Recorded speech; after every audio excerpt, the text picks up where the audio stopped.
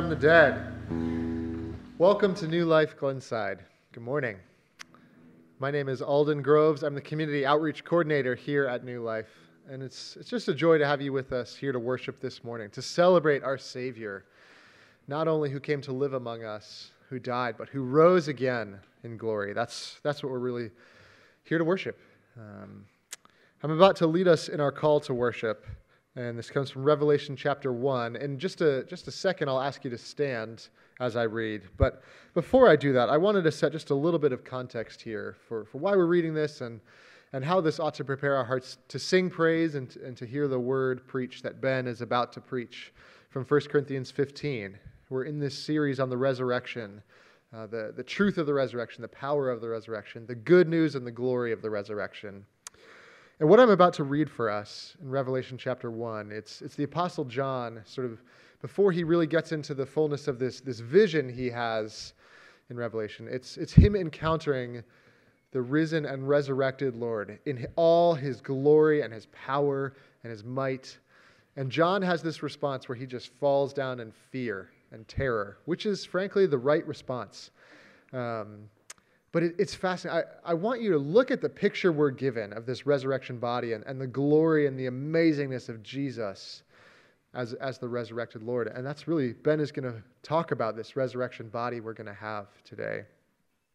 But I also want you to think about the words that Jesus says to John. Uh, particularly, he says, Fear not. And the reality is, John has the right response where, where he falls down as dead almost and is terrified. Because this should be a moment of judgment and wrath and scary, scary things. But instead, he speaks tenderly and he talks about how he has overcome death itself. If our Lord has conquered death, the scariest thing this world has to throw at us, what is there left to be afraid of? And how can we not turn and respond and worship to our Lord? So, if you will, stand now. You watching online, stand, uh, stand from your couch um, and hear this call to worship from Revelation chapter 1, beginning in verse 12 to 18. This is what Scripture tells us. John says, Then I turned to see the voice that was speaking to me. And on turning, I saw seven golden lampstands. And in the midst of the lampstands, one like a son of man, clothed in a long robe and with a golden sash around his chest. The hairs of his head were white like wool, like snow. His eyes were like a flame of fire. His feet were like burnished bronze refined in a furnace, and his voice was like the great roar of many waters. In his right hand he held seven stars, and from his mouth came a sharp two edged sword. And his face was like the, sh- the sun shining in full strength. And when I saw him, I fell at his feet as though dead. Then listen to this. What this sharp two edged sword of a tongue says. It says, But he laid his right hand on me, saying, Fear not, I am the first and the last. I am the living one. I died, and behold, I am alive forevermore. And I have the keys of death and Hades. That is our powerful Lord, our resurrected Lord, who is calling us into glory. In him we have nothing left to fear. So let us praise him with full hearts and raised voices. Amen.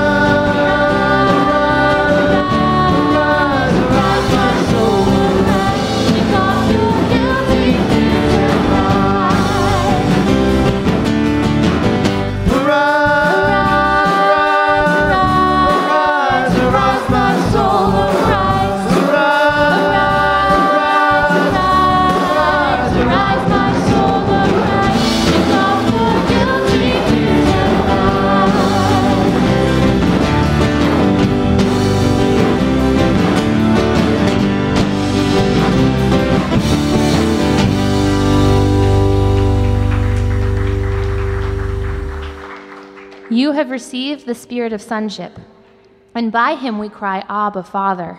The Spirit himself testifies with our spirit that we are God's children.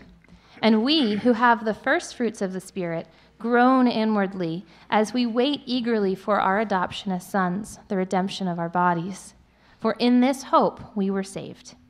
For those God foreknew, he also predestined to be conformed to the image of his Son, that he might be the firstborn among many brothers.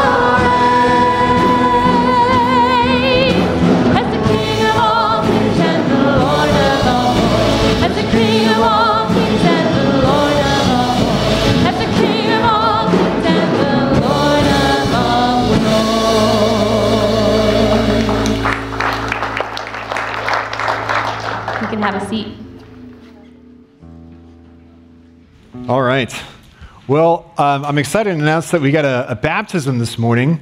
Um, so I'm going to invite uh, the Chungs, Paul, and Sylvia up uh, if they're are they ready? and then uh, also the elders. If there's any elders in the room, uh, please come forward.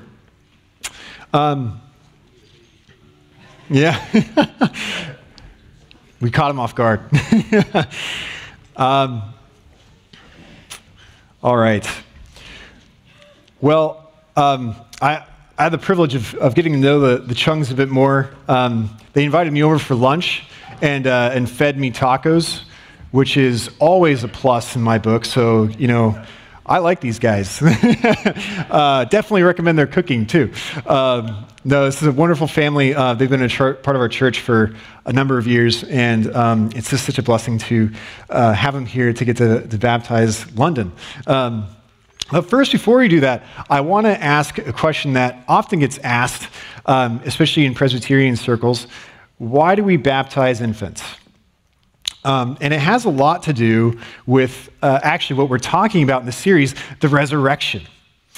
Baptism is a sign, a symbol of what happens uh, when Jesus was raised from the dead. It's a, it's a symbol of you being united to Christ's death and resurrection. And interestingly enough, so was circumcision in the Old Testament.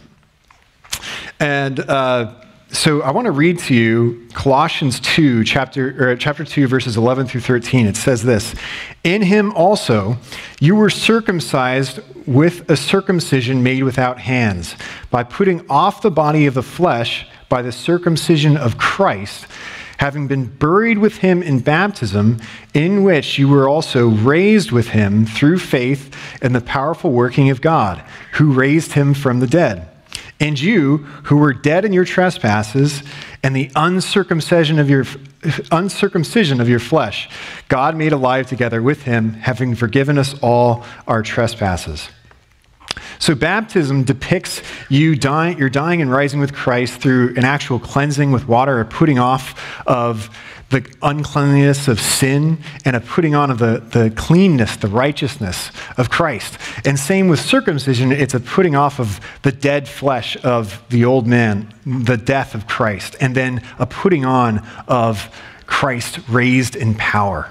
And because of these two things represent the same spiritual realities, in the same way that we circumcised infants in the Old Testament, we baptize uh, infants in the New Testament. And if you had any, uh, you know, further doubt about that, Paul or Peter makes it clear in, in Acts chapter two. He says, "And Peter said to them, Repent and be baptized, every one of you, in the name of Christ, Jesus Christ, for the forgiveness of sins, and you will receive the gift of the Holy Spirit. For the promise is for you and for your children." And for all who are far off, everyone whom the Lord our God calls to himself. And Peter is actually quoting from Genesis chapter 17, where circumcision is instituted. So he's making a direct connection between baptism and circumcision. And maybe you guys haven't thought of that quite that way, but th- this is really about the resurrection. It's about a, a resurrection hope that you and I have. That infants that we raise in the Lord will grow in their faith and profess faith when they grow older. It's, it's that hope that we want to invite them into the church and raise them in the faith. So, with that, I have some questions for you guys. Um, do you acknowledge your child's need of the cleansing blood of Jesus Christ and the renewing grace of the Holy Spirit? We do. We do. Do you claim God's covenant promises on, on her behalf? And do you look in the faith to the Lord Jesus Christ for her salvation as you do for your own? We do. Do you now unreservedly dedicate your child to God and promise in humble reliance upon divine grace that you will endeavor to set before her a godly example, that you will pray with and for her, that you will teach her the doctrines of our holy religion, and that you will strive by all the means of God's appointment to bring her up by, in the nurture and admonition of the Lord? All right. um, now, got one question for you as a congregation. Do you, as a congregation, undertake the responsibility of assisting the parents in the Christian nurture of this child? All right. So, what is your child's name? London Chung. London Chung. Can I? hold her? She might cry. it's okay. Crying a little color. Oh boy. All right. Hey, London. London, look. These are all your family members. This is your new family you're going to spend eternity with. Oh, yeah, she's crying. Here, we'll do it this way. Yeah. I woke her up. London. I baptize you in the name of the Father, and of the Son, and of the Holy Spirit. Amen. All right.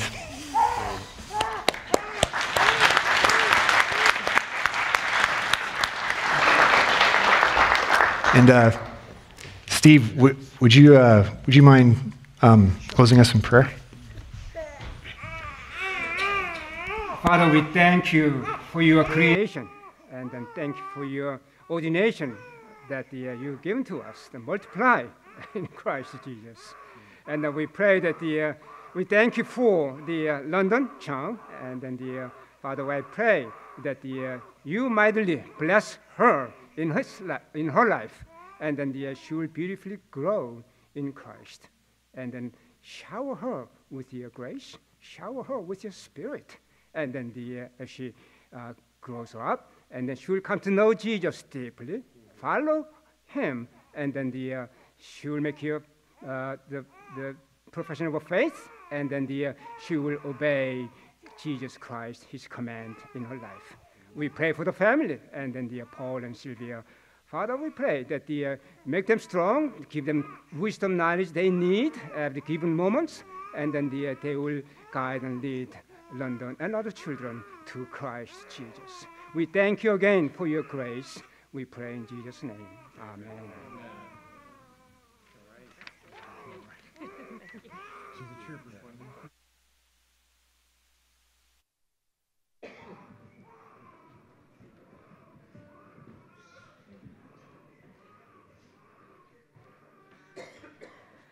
All right, good morning, New Life. My name is Caitlyn Valla, and I have the pleasure of being your junior high ministry leader here. Um, I'm here to bring you some announcements, but first, with those receiving the offering, please come forward. Your gifts given now or online support God's work of ministry and missions through New Life, and we praise God for his gift to us and letting us honor him in our giving. Let's pray. Lord, my rock and redeemer, thank you that you are in infinitely, consistently, and perfectly wise. You have said that whatever we give is acceptable if we give it eagerly. You have said that we should give according to what we have. Help us to bring our offerings with an eager heart, not as a comparison with others, but as an act of worship to you. May we find the comfort we desire in you and the strength we need in your name. May you be with us every moment of our day through Jesus Christ our Lord. Amen. Thank you. First announcement is for tonight. So come and enjoy an authentic Indian dinner presented by Helping India Together tonight at 5:30. For only $8, you participate in this complete meal and will get an update on what's happening in India. Presented by the HIT team, who has just recently returned from there. Your co- contributions will help with our involvement in India. Next, Kenny Owens is seeking organizers, helpers, builders, musicians, planners, and walkers to plan, develop, and participate in New Life's entry into the Greater Glenside 4th of July Parade. You can be involved in this as much or as little as you have time to be. The bigger our presence in the parade, the better our visibility to the Glenside community. Able Life, New Life's ministry to those with special needs, will host a special needs ministry training event, Disability 101 Becoming an Irresistible Church, Saturday, May 20th in the Fellowship Hall from 1 to 3 p.m. The speaker is Sib Charles, Ministry Relations Manager for Joni and Friends. That's it on announcements this morning. So, this is the time. Stand up, stretch, say hello, wave across the room, and when that music starts, please go back to your seats.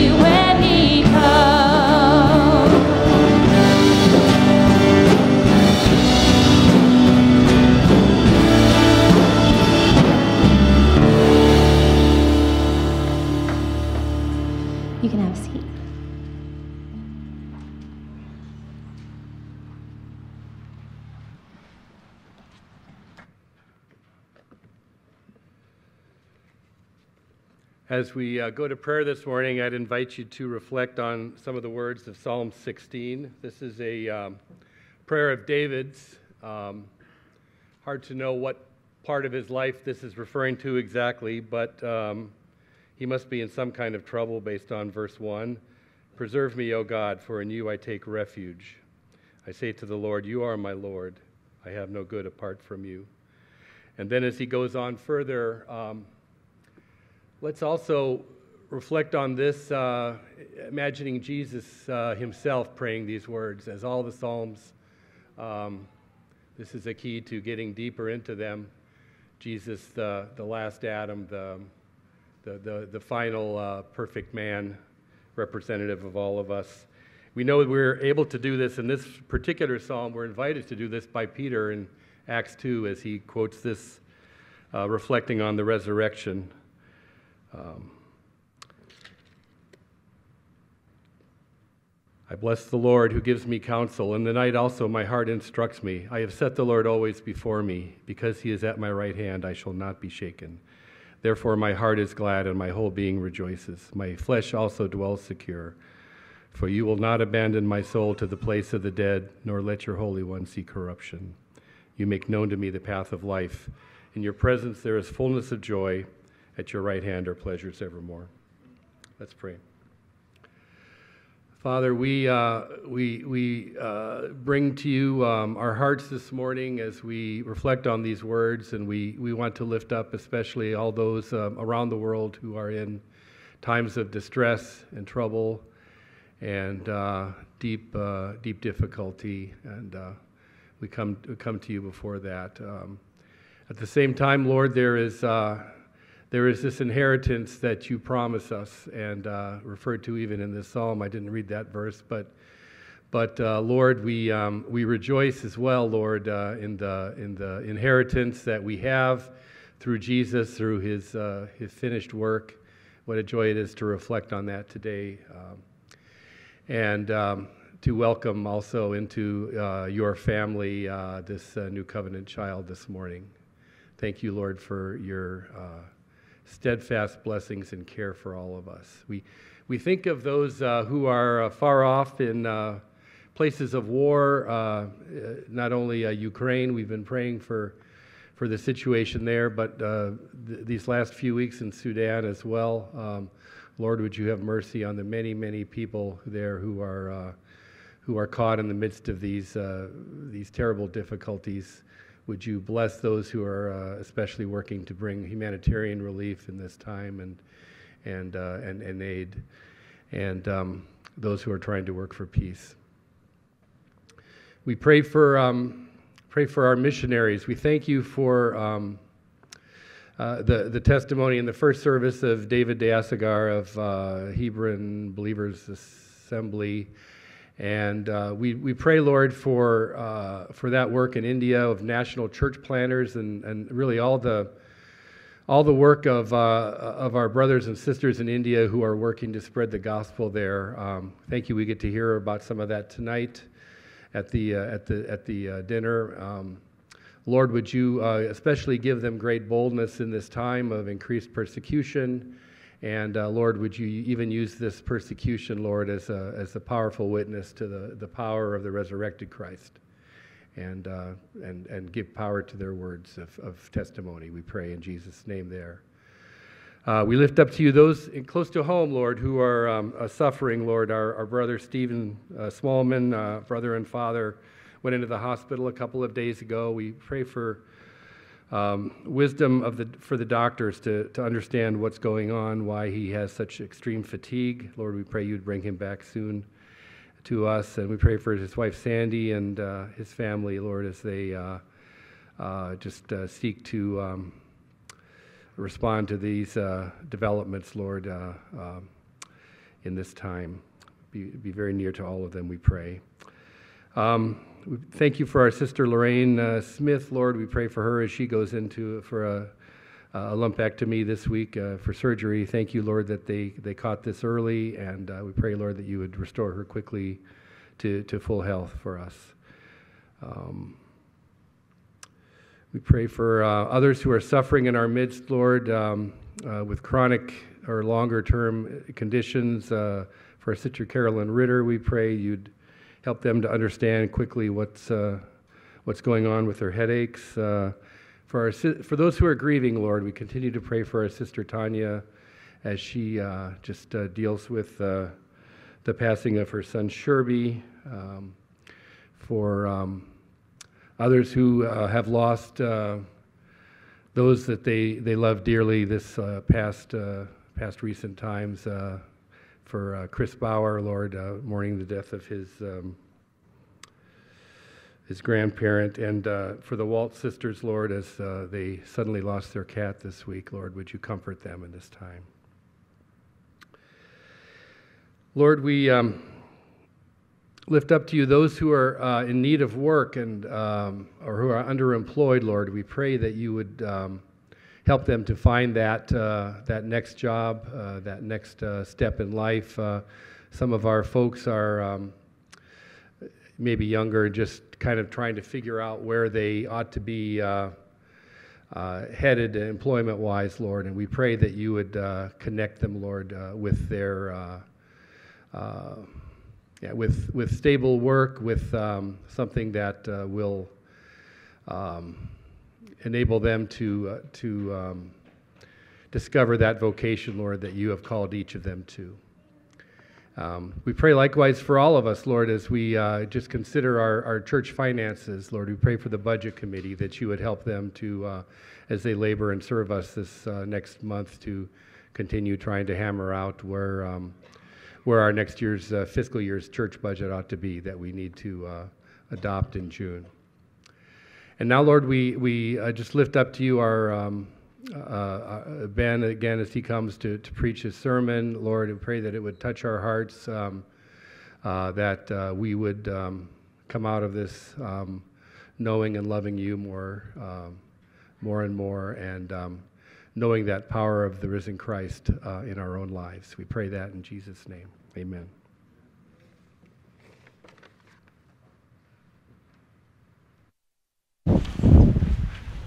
All right. Well, I have, I have a question for you all. Um, have you ever been told that you're not good at something? yeah, it seems to be a universal experience. Um, or maybe you've been told affectionately, yeah, don't quit your day job. Um, I don't know why, but when people look at me, they, they often assume that I'm good at basketball. I, I for the life of me, I don't know what it is. Um, so you know, you ever like crumple up a piece of paper and you try and like toss it into a trash can, and like nine times out of ten you totally miss. Like, okay, you guys maybe make it more than I am. so I did this once, I totally missed, and my friend goes to me, he's like, "Yeah, you you should not play basketball. and uh, at the moment that it happened, it didn't really bother me. I've never been good at basketball. I've always known this. Uh, tall, lanky, but uncoordinated. Um, so it, I kind of just brushed it off. And, and, maybe you guys have had things like that too. We all get comments where it's like, yeah, yeah, all right, well, wasn't really trying to be good at that, so it's not a big deal. Um, but if someone comes to you and, and says you're, you're bad at your job that you do full time, that's different right? That, that's going to hit you probably more close to home because you've put a lot of effort into uh, honing your skills in that area, right? And um, I think a lot of times these statements can be pretty impactful. For me, I was really impacted by comments like this when it came to school. So when I grew up through elementary school to high school, I had an average GPA of about 2.8, which is a little below average you, you know, add that up. And um, a lot of that I realized later was um, the way people were talking to me. They're like, "Yeah, you're you're not really academically gifted," you know, is the way people would talk. And by the time I was in college, though, my GPA jumped to a 4.0. And it wasn't anything about my IQ, it was the way people talked to me and talked about me and encouraged me that made the difference. Uh, it was people coming alongside me saying, No, Ben, I think you got more of a gifting here than you realize. Uh, now, I'm not saying that if you guys come up to me after the sermon and are like, Ben, you're actually really good at basketball. Like that, that's not going to magically make me good at basketball. That's not the point. But there are a lot of times where we don't try things or we are convinced that we can't do something simply because other people have told us that. Um, and so we're going to be in 1 Corinthians chapter 15, verses 39 through 49. It's in page 962 um, if you're tracking along in your uh, Black Pew Bible. And um, I just want, before we read that passage, uh, just like a lot of um, the, the, naysayers that I had to deal with uh, when it came to school, the Corinthians had to deal with a lot of naysayers when it comes to the resurrection. In Corinth, um, they thought of the body more as a prison that your soul was to be freed from. So they didn't think that the resurrection was possible or even desirable. Like, why would you want to be raised to new life in your body? That defeats the whole purpose. And then you had uh, Jewish believers in Corinth who were equally naysaying, saying, well, how could it be that a poor carpenter's son from Nazareth is the Messiah of the world? That doesn't make any sense. Uh, so you had all these, these naysayers that were really affecting the church in Corinth. And even today, we have, especially today, a lot of naysayers that we deal with as a church. Um, it's really common. I remember there was an Arcadia student that I uh, talked to, me being a campus minister, talking to this Arcadia student I've never met before, and I, you know, started, you know, sharing the gospel with him and talking to him. He's like, "Yeah, man, not interested." What does that communicate? It's the world. It communicates the world really sees the church as irrelevant, not powerful, kind of weak, uh, fading away, dying. Uh, the church, we often get the message, is bigoted, hateful, corrupt. Um, and the list goes on of all these different negative views of the church that we get. And there is some truth to some of those things, but I think the tragedy in it is that we've bought a lot of what the world says about the church. And it's not because the world has better arguments, it's because they speak with greater conviction. So, my challenge for you this morning is to speak with greater conviction and confidence in the hope that you have in the resurrection. You can do more, a lot more, than the world thinks that you can. Um, and so that's how I want to encourage you this morning. And um, with that, let's read this, this passage in 1 Corinthians 15, verses 39 to 49. It says this For not all flesh is the same, but there is one kind for humans, another for animals, another for birds, and another for fish. There are heavenly bodies and earthly bodies. But the glory of the heavenly is of one kind, and the glory of the earthly is of another. There is one glory of the sun, and another glory of the moon, and another glory of the stars. For star differs from star in glory. So is it with the resurrection of the dead. What is sown is perishable, what is raised is imperishable. It is sown in dishonor, it is raised in glory. It is sown in weakness, it is raised in power. It is sown a natural body, it is raised a spiritual body. If there is a natural body, there is also a spiritual body. Thus it is written the first man, Adam, became a living being, the last Adam became a life giving spirit. But it is not the spiritual that is first, but the natural, and then the spiritual. The first man was from the earth, a man of dust. The second man is from heaven. As was the man of dust, so also are those of the dust. And as is the man of heaven, so also are those who are from heaven. Just as we have borne the image of the man of dust, we shall also bear the image of the man of heaven. So here's the main point that this text has for you today. The resurrection is the most powerful and important force in all existence, more powerful than anything else in the universe. And this resurrection power, this force, is living in you and at work in you even today. And we see the, the power of the resurrection in this text in three ways. We see it uh, that the resurrection is the most glorious event in, uh, to ever occur. We see that all of history points towards the resurrection. And we see that the resurrection is the center of the Christian life. If you're following along, if you look at your bulletin, there's an outline there. It, it puts it this way it says there's, there's a resurrection glory, a resurrection history, and a resurrection ethic. And we're going to go through those one by one. So, first, we have a, a, resurrection glory, and this is seen in verses 39 through 44. Uh, and in verses 39 and 40, we get a list of all these different kinds of bodies in creation. It's kind of, it might seem strange to you. Like, what is this getting at? It describes bodies of animals, birds, humans, uh, as well as bodies in um, space, like the sun, the moon, the stars. And each of these is described as having its own level of glory. Um, so there's different sort of uh, bodies that have more glory and those bodies that have less. But before I get into what a glorious, the glory of these bodies is, I think it's important to def- define what glory is. Have you guys ever thought of what, what glory actually is? How do you define it?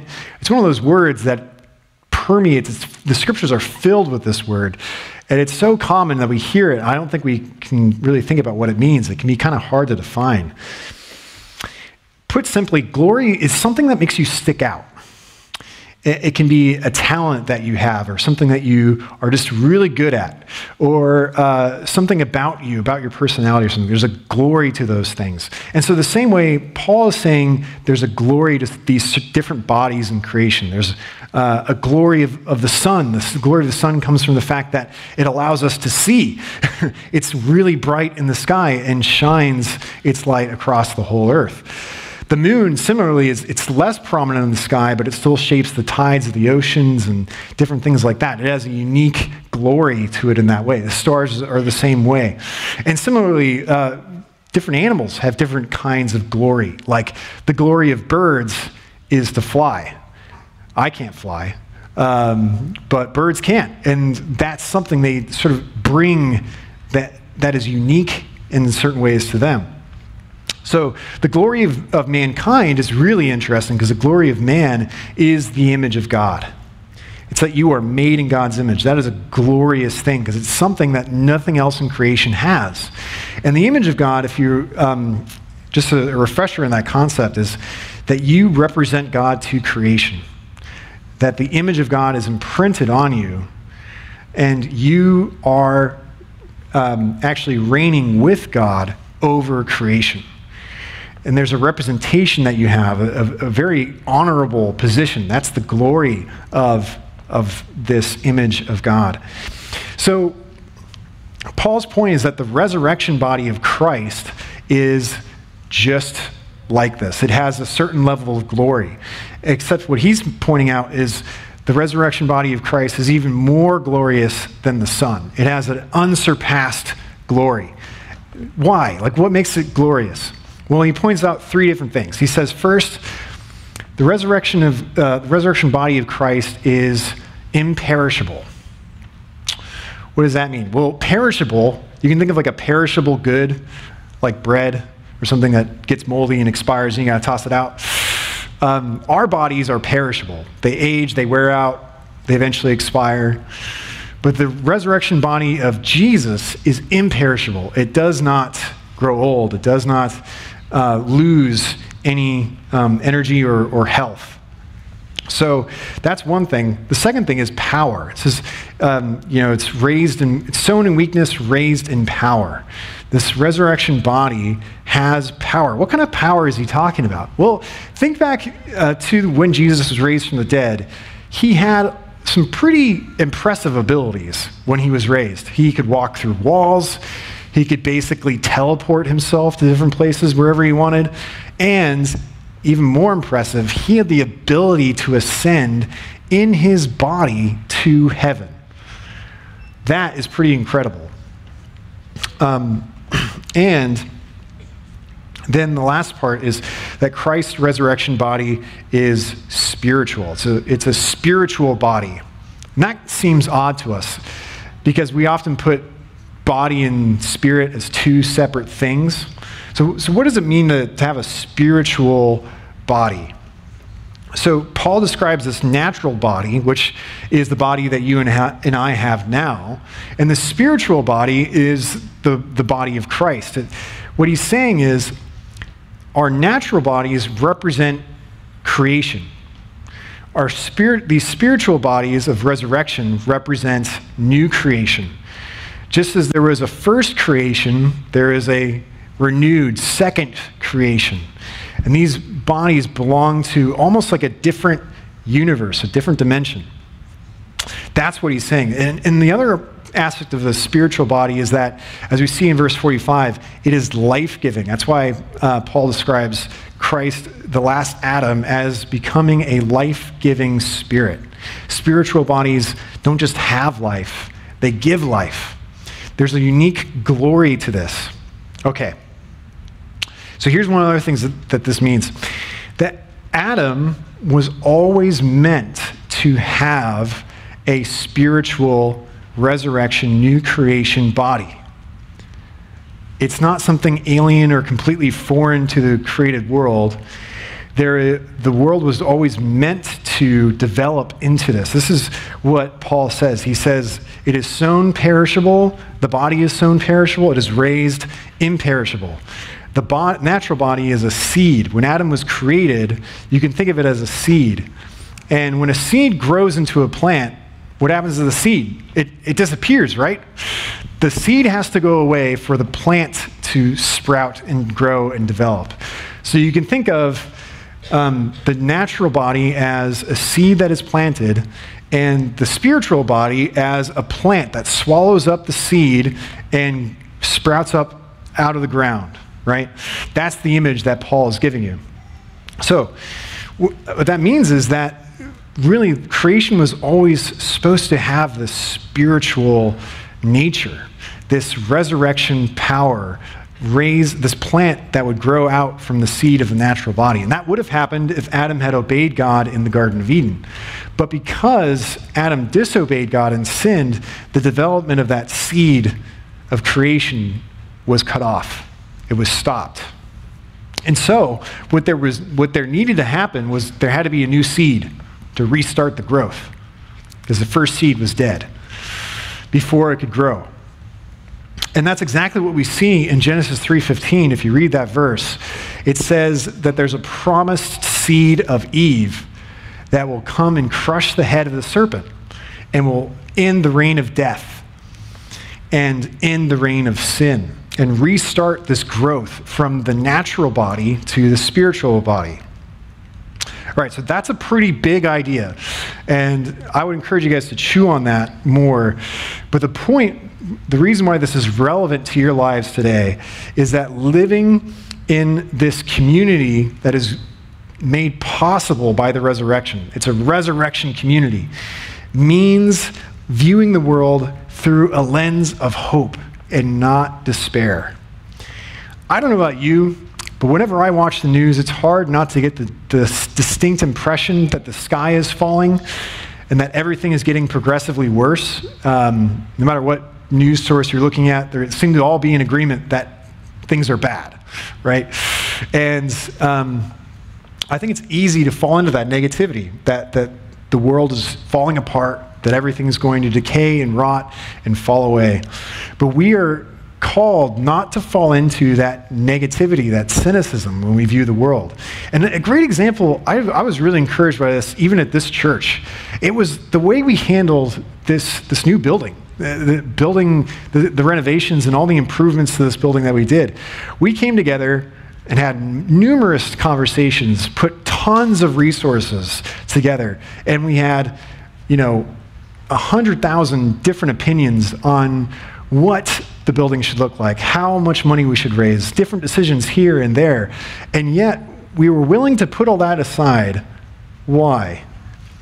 Because we believed, we had hope that something good could happen from our efforts. There was a belief, a hope that this building could be something bigger and better than what it was before. I mean, imagine if we had looked at it through a, a lens of negativity and basically said, this building's a lost cause. We just need to get a different one or move to a different space. Like, this is not going to work. It's rotting. There's too many problems with it. Like, we're, we're not going to come together and do any of this. If we had that kind of attitude towards this building, nothing would have gotten done because we've internalized this belief that it's impossible. And so the same thing can happen in the world. We, we see different things in the world and we look at it through the lens of the world, believing that this world is all there is, that there's no hope, that this world is going to end in decay. But if we really believe in the resurrection, that means believing that this world is not all there is. There is a new and better world to come. And um, I just want to encourage you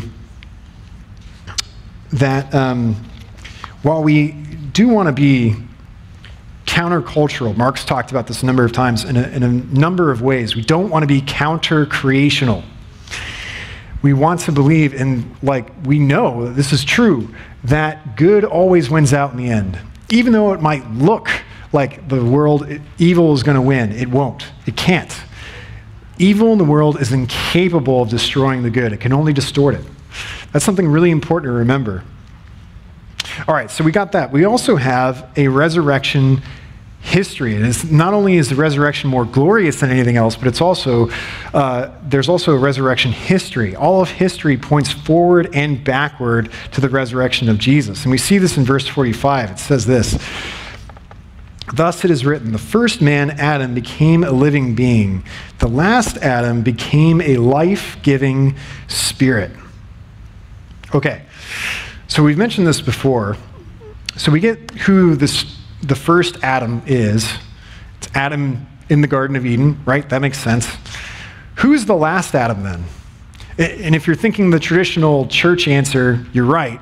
It's Jesus. Jesus is the last Adam. You, you got it right. It's not a trick question.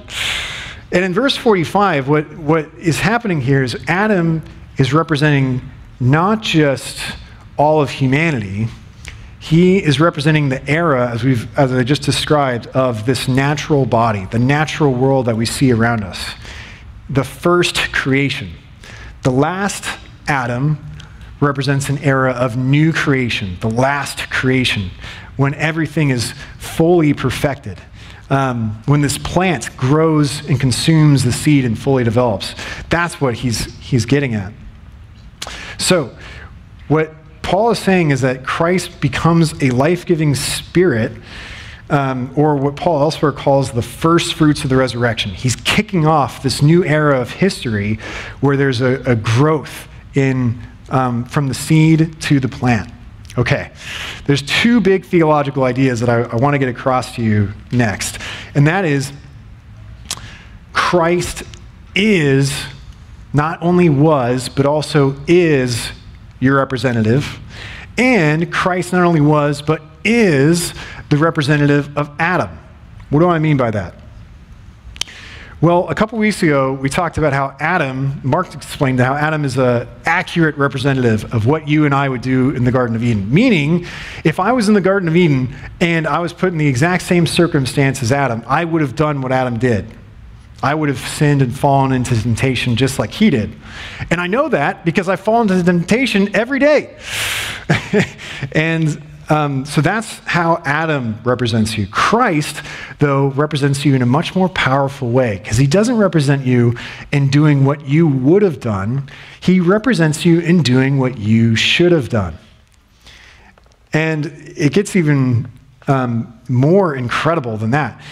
Adam doesn't represent you also in the same way as Christ because you only are represented by Adam in his first sin. So after Adam sinned, he was kicked out of the garden, right? That means that once he was kicked out of the garden, he is no longer your representative. That's why you are accounted guilty for Adam's first sin, but not his second, third, fourth, fifth, sixth, seventh, eighth, etc. So after that, after the fall, he is no longer your representative. Here's, here's where it gets cool. Christ, on the other hand, represents you not only in one of his righteous deeds, but in all of them.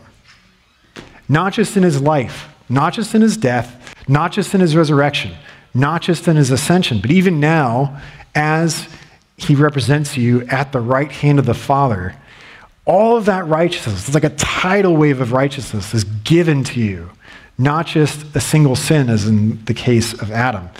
And it, that's how sure your standing in Christ is.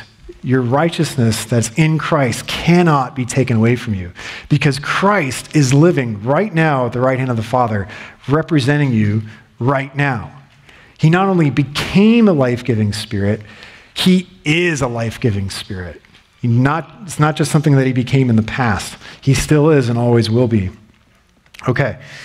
Um, and it gets even bigger when you realize that Christ is Adam's representative, meaning that once Adam stopped being a representative and sinned and fell from grace, he needed himself a representative to redeem him, and that was Jesus. The resurrection is so powerful that it brought Adam from death to life.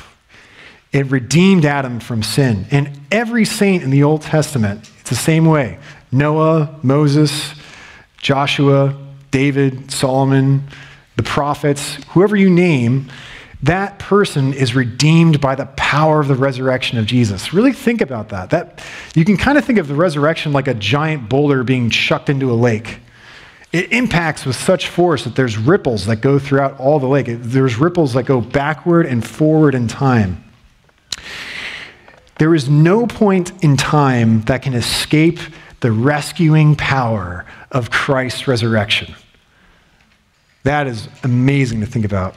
Christ always has been, always is, and always will be your perfect representative and your perfect redeemer. And here's another point of how this relates to your life. What does this mean for you? It means that even now, Christ is in heaven, reigning on your behalf. The most powerful force in the universe, in existence, is got your back. That's incredible to think about. It's, it's for you, that Christ is for you. He is on your side. And Hebrews 7:25 says it this way. He says, "Christ is able to save forever those who draw near to God, because he always lives to make intercession for them." Christ is not only was, but again, is still a life-giving spirit who is in heaven, giving you life at every moment, renewing your life, giving you strength, giving you resources.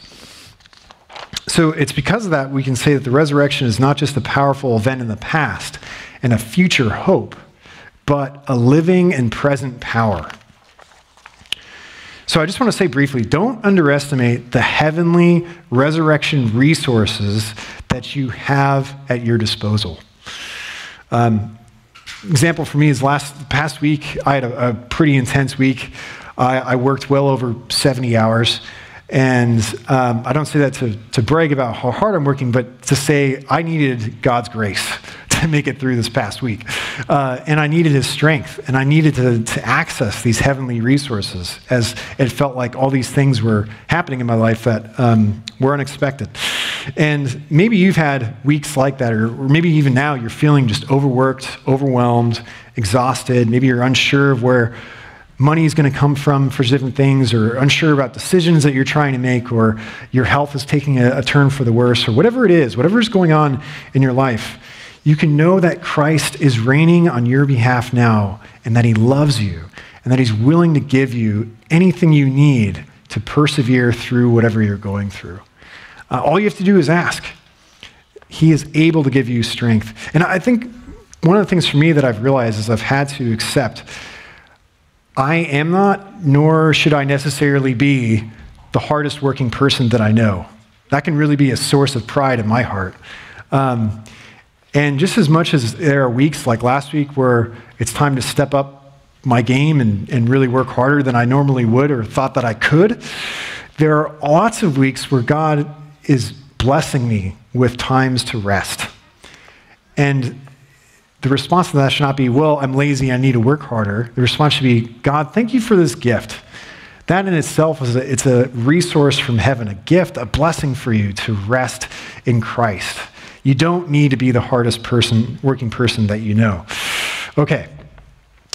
Um, so the question is, how does how do we live in this resurrection power? We've talked about how it is, how powerful it is, different things about it. What what does it look like to live in it? And that comes to the or come, makes us come to our final point: that the power of the resurrection shapes your entire life and how you should live.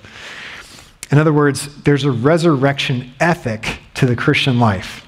If you haven't heard that word before, an ethic is just a set of things that are right and wrong. Things that you should do, things that you shouldn't do. It's a set of morals. That's all that means. All right.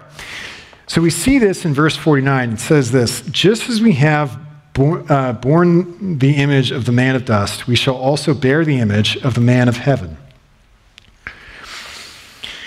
Um, this looks at first like it's just saying that you only bear now the image of Adam, but you look forward to bearing the image of Christ, which in some sense is true. We still have perishable bodies. We're still waiting for this glorious, imperishable, un- undying, eternal body that we get to share with Jesus.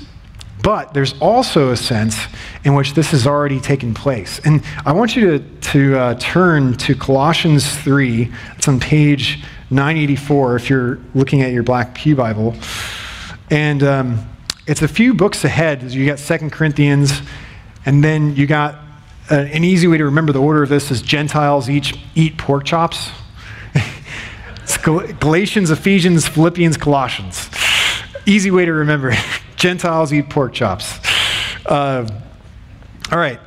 And as you're turning there, uh, focus on the language and the wording that Paul uses to describe the Christian life in light of the resurrection. So I'm just going to read a few verses from, from Colossians chapter 3.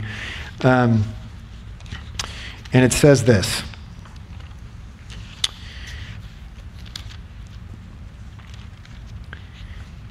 If then, so this is verses 1 through 2. If then you have been raised with Christ, seek the things that are above, where Christ is, seated at the right hand of God. Set your minds on things that are above, not on things that are on the earth. And then skipping down to verse 9, I'll read verses 9 through 12. It says, Do not lie to one another, seeing that you have put off the old self with its practices and have put on the new self, which is being renewed in knowledge after the image of its creator. Here there is not Greek and Jew, circumcised and uncircumcised, barbarian, Scythian, slave, free, but Christ is all and in all. Put on then, as God's chosen ones, holy and beloved, compassion, kindness, humility, meekness, and patience. So you, you get this statement right at the beginning of this uh, chapter that you, if then you have been raised with Christ, it frames the resurrection in, in the past, not just in the future, a future hope. It's something that's already happened to you. How does that work? Well, what Paul is getting at is that uh, you, while you're still waiting for this resurrection body, at the when Christ returns, you do have, you have been internally raised to new life in Christ. Your heart, mind, and soul have been brought to new life in Jesus. And so there is a, there's an already fulfilled part of this promise of the resurrection. And what this means is you've already been given uh, an in- part of this inheritance, this new nature. And the whole Christian life then is learning how to live in this new nature. In other words, everything that you do as a, as a believer is about the resurrection. Every, the, the resurrection is the center of the Christian life. And all Christian morals of right and wrong are resurrection morals, is another way to phrase it.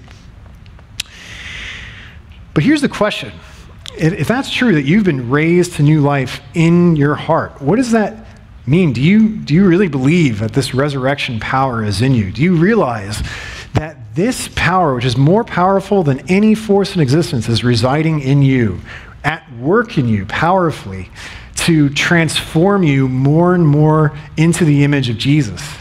That's what Romans 8:29 says that day by day we are conformed more and more to the image of Christ. That's what he's talking about.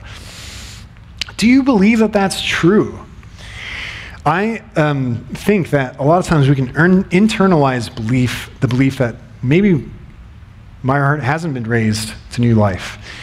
And we can catch ourselves getting caught up in the negativity of this world is all there is. There, there is no resurrection. Or uh, we get caught up in, in just the cares of this world. And we don't think that change in our hearts or in our lives is possible. Um, I've caught myself with thinking this way with certain um, struggles I've had with. Uh, I don't know if you guys ever struggled with the fruit of the spirit, self control, uh, or if you've ever had a, a, bad habit that you struggle to to get over, and it's really tempting in those moments to think, I'm just never going to get over this bad habit. It's just it's going to consume my life. That's just is what it is. There's nothing I can do about it. One of the amazing things about believing in the resurrection power that is in you is it leads you more and more to believe no, I, I can change this, that I have the most powerful force in existence living in me. I can't, no matter how many times I fail, I can change this. Christ is changing me. That's why I know I, I can change.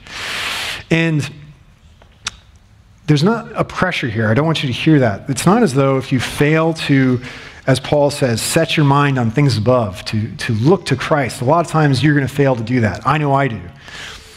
You get caught up in the cares of this world. You get caught up in believing that this world is all there is, or at least living like that.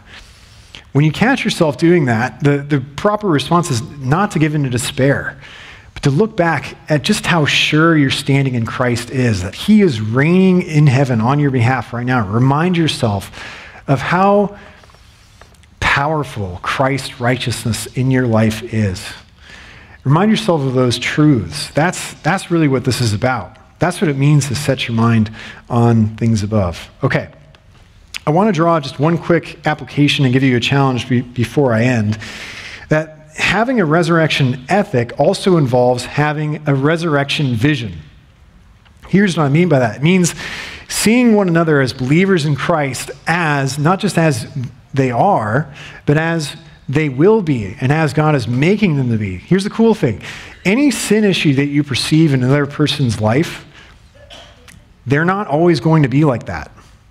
If they're, a, if they're a brother or sister in Christ, whatever, if there's something that you feel hurt by or something that you feel um, annoyed by or just something another, we can really clash and disagree and rub each other the wrong way. Those sin issues in our lives that cause that conflict are temporary. They're not going to work like that in, in heaven. Not, whatever you might struggle with or someone else struggles with, however they've hurt you, that's not permanent. That's really important to remember. And I think it helps us to learn how to forgive and seek peace with other believers. And I think an example of this is uh, that it's, it's really important to think of what is temporal and what is eternal in any given conflict or disagreement that you have with, another believer. Uh, an example of this in my own ministry, working with college students, young adults, is um, there's a lot of disagreements. A lot of times I've seen disagreements happen of what movies are appropriate to watch, what TV shows are appropriate to watch, what video games are appropriate to play, um, what entertainment we should be consuming. And all these things are important things to talk about and important things to think through. It's good to be mindful of what entertainment you're exposing yourself to. But at the same time, we have to broaden our perspective that pretty much all the entertainment of this world is temporal. It's not going to make it to the new heavens, new earth. There's going to be way better entertainment in heaven. in comparison, most of the things in this earth are going to probably bore us. So, when you have, like in, in my area of ministry, if you have disagreements about these kinds of things, we've had issues where, er, you know, multiple times where it's happened where eh, just a lack of discernment or we had, had a disagreement we didn't realize we had. We, we play like a TV show or we watch a movie or something like that or play a game and someone is like, well, I don't think that's appropriate to play.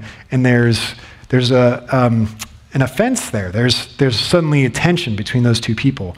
And I think this resurrection vision has something to say to both sides of that. That those of, on the side of, I feel like this is not okay, we should not be looking at, you know, playing this game or watching this movie as a believer there's a realization like, yeah, there's probably a lack of discernment there, but this was a mistake. And in the grand scheme of things, my relationship with this believer in Christ is eternal.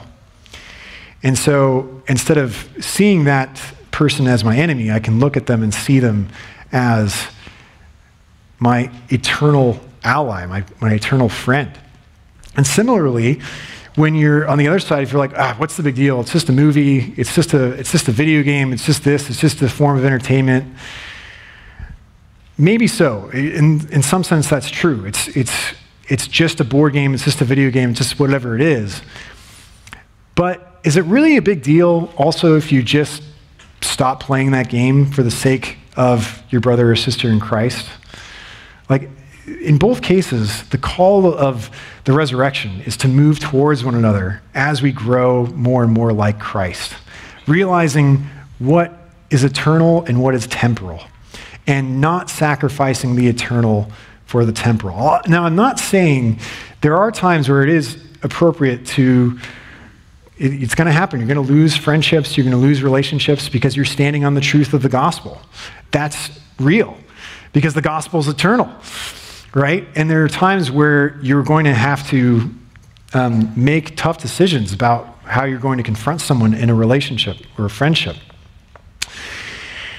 But I I think the thing I want to end with is this question. It seems that to me that there's really oftentimes more agreement between the world and the church about what the church can do and what the church is than there is agreement between believers. It's really, I see this happen a lot, and it's really tempting in my heart to get into strong disagreements with other believers about how this ministry should look, how we should run this program, what we should do next, what, what's our vision for the church, and all these things. And those things do matter. Don't get me wrong. But I think there might be a problem if we find ourselves agreeing more with the world about the weakness of the church, about what the church can't do, than agreeing with other believers about what the church can do. And what this means for your life is be willing to speak up to the world. If you're willing to be confrontational with believers, sometimes you got to be willing to be confrontational with the world. You got to be willing to speak up, to say, speak the gospel into people's lives. And this doesn't always mean handing out gospel tracts or um, open air preaching. I think that can be scary to a lot of people. What this can mean is simply the next time a coworker or an unbelieving friend or neighbor asks you, Hey, how was your weekend? You can say, Well, I went to church and just had this amazing service, and it was really nourishing to my soul, and really, it was, it was just an incredible experience. Like, you can say that. I don't, I don't hear people say that very often. And if you do, that's great. But we need more of that, of just openly being honest about your spiritual life to other people. Talk about it just like you would talk about what you watched on TV last night, or what you watched, uh, or, or you know who you went out with for you know dinner a couple days ago. Talk about devotions that you've had, quiet times maybe if you feel comfortable, or talk about Bible studies that you've joined. There's all sorts of ways to boldly speak with conviction into the world. Doesn't always mean speaking with a louder voice. A lot of times it just means starting to talk about it. Just talk about the gospel, talk about your faith, talk about the resurrection. Okay. Gone way over time, so I'm going to close us in prayer now. Father, we're just so grateful for the power of the resurrection that is living in us.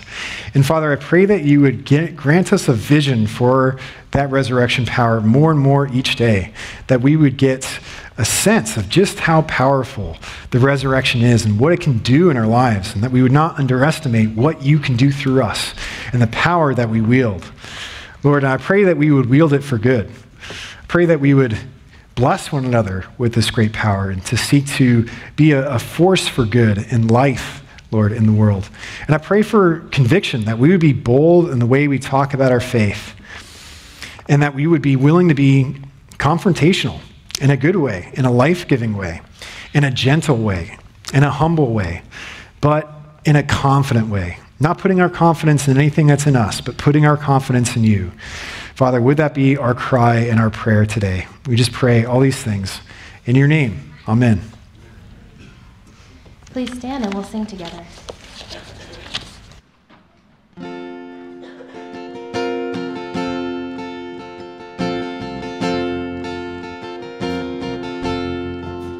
Christ the true and better Adam, Son of God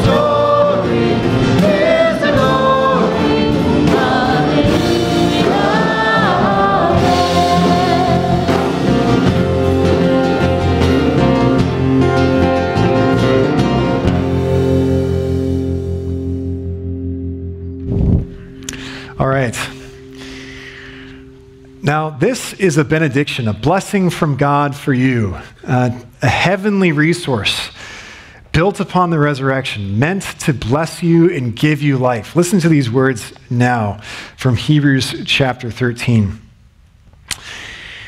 Now may the God of peace, who brought again from the dead our Lord Jesus, the great shepherd of the sheep, by the blood of the eternal covenant, equip you with everything good, that you may do his will, working in us that which is pleasing in his sight, through Jesus Christ, to whom be the glory forever and ever.